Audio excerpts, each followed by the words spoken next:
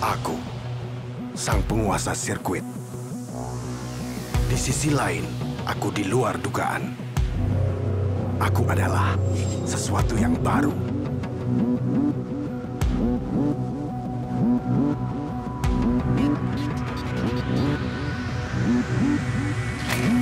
Activation. Terlahir kembali untuk di jalanan. Di sini aku handal. Aku bertenaga.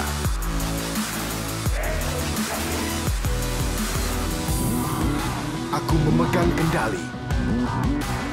Aku menguasai kecepatan.